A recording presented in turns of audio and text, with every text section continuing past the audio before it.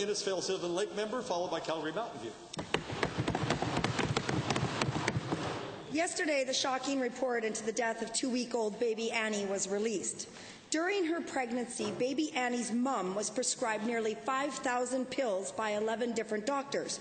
The primary doctor was apparently unaware of her pregnancy, and her obstetrician was initially unaware of her drug abuse. When the obstetrician finally discovered the prescription, she left a message for her primary doctor, a message that was never returned. The Health Quality Council report into the death of Greg Price identified these same types of breakdowns. To the Minister of Health, when can we expect a real plan to ensure the similarities around the deaths of baby Annie and Greg Price? Thank you. Honourable Minister of Health. Well, Mr. Speaker, this, uh, uh, this will be my first opportunity to express uh, my sympathy to, uh, to the family for this very tragic death.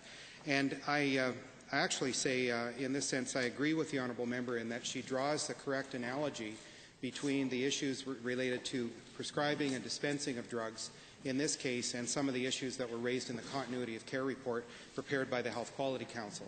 The fact is, Mr. Speaker, that uh, health professions in this province have a responsibility and they are regulated uh, to share information. They are obliged to share information in treating the same patient. There is obviously a very serious breakdown Thank in this case. Thank you for supplemental. Given that in 2011, an expert panel reviewing the death of another young child in government care called on Alberta Health Services and Child Services to collaborate on issues of at-risk children, and given that yesterday's report into the death of baby Annie says, and I'll quote, the Ministry of Human Services has indicated that this recommendation has been accepted and completed. However, this approach was not evident in Annie's case, and clearly the minister agrees. Can someone in the government explain to the House whether or not that recommendation has actually been implemented, and if it has, why the heck has it not actually been, been followed? The Honourable Minister of Human Services. Uh, thank you, Mr. Speaker. Mr. Speaker, uh, I'm, I'm First of all, I'd like to say that one of the things that I'm looking to do with the passage of Bill 11 is to ensure that all recommendations, Mr. Speaker, are tracked, the response from government is reported, and then the, health, the Quality Council, Mr. Speaker, will ensure that the recommendations and the actions are actually followed up on. That's something, that's a change I am looking to make, Mr. Speaker, with the passage of this bill. Further, in 2012, the AVERT teams in Calgary and Edmonton have been established, which are multidisciplinary teams between justice, health, and children's services to work with high needs infants. Thank you. Final supplemental.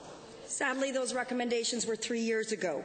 Given that Human Services and Alberta Health are two massive ministries, and three years ago another death of a child in care report tasked the ministries to work together in cases of at-risk children, and given that three years later the Child and Youth Advocate has indicated that these past recommendations continue to be ignored, ministers, Clearly, there's a problem. How can you tell Albertans that all recommendations are being followed or have been implemented when there's a 14-day-old baby who just finished dying and we still have not had your ministries figure this out? The Honourable Minister of Health. Uh, well, Mr. Speaker, I'd like to really caution this honourable member uh, in, uh, in making generalizations about this case or any other.